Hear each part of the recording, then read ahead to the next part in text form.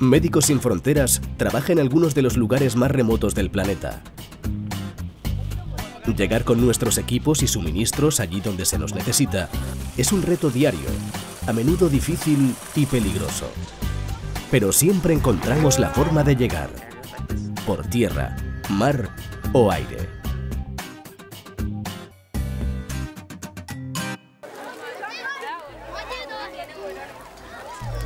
Sin el emblemático Toyota 4x4 no podríamos trabajar. Es robusto y fiable y nos ayuda en el transporte de personas y materiales por todo tipo de caminos. Incluso los adaptamos para usarlos como ambulancias. Tenemos más de 800 en todo el mundo. A veces el camino es imposible hasta para los 4x4. En República Democrática del Congo tenemos que usar motos. Estos equipos de motoristas sin fronteras llevan atención médica a decenas de miles de personas.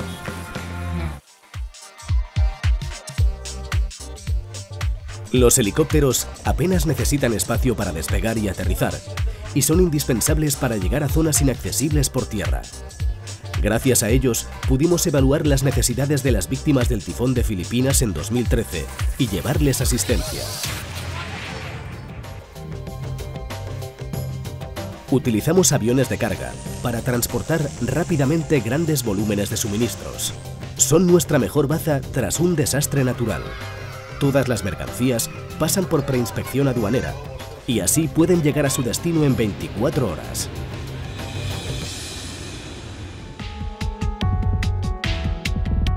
Usamos embarcaciones de todo tipo.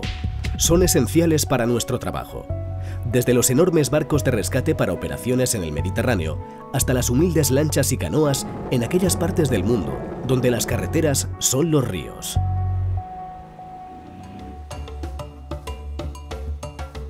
Los camiones tienen un uso obvio de transporte de mercancías, pero también los habilitamos como laboratorios y como clínicas móviles. En Uganda y Zimbabue los hemos convertido en unidades itinerantes para el diagnóstico rápido del VIH y el inicio inmediato del tratamiento.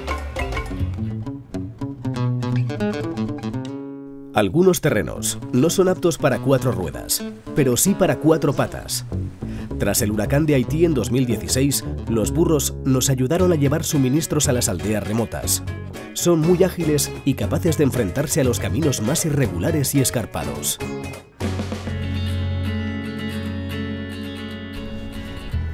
Nos enfrentamos a dificultades de todo tipo, pero por suerte hay un medio de transporte fiable que puede encontrarse en cualquier parte del mundo, la bici, y se puede combinar con otros medios como las canoas.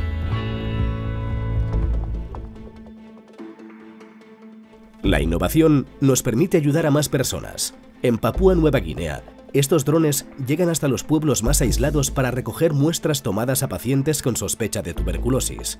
Así, diagnóstico y tratamiento serán más rápidos.